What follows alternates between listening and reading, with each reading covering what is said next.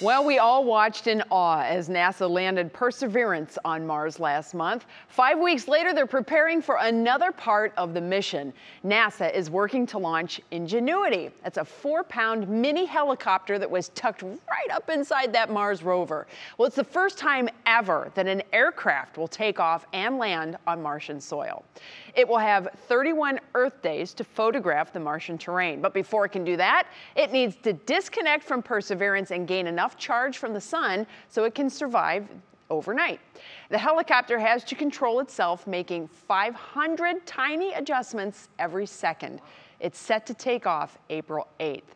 Once it launches, it will climb to an altitude of 15 feet, hover for 15 seconds, make a turn, and then land.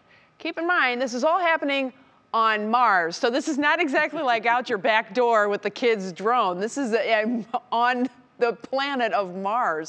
Jay, one of the challenges here, of course, the distance. And keep in mind, Mars is a completely different atmosphere. It's only about 1% of the Earth's atmosphere. So engineers had to develop a special twin rotor system that could give it the lift it needs in order to go airborne. It's amazing to me. So NASA decides, okay, we're going to go to Mars. Mm -hmm. Oh, and by the way, in the capsule, we're going to tuck away a helicopter and then we're going to try to fly it on a planet millions of miles away. Now, many people that are involved in this project say it's very much like a Wright brothers moment. In fact, Ingenuity, I love this, is carrying a piece of fabric about the size of a stamp from the Kitty Hawk Flyer, which is, of course, the original Wright brothers plane. How cool is that?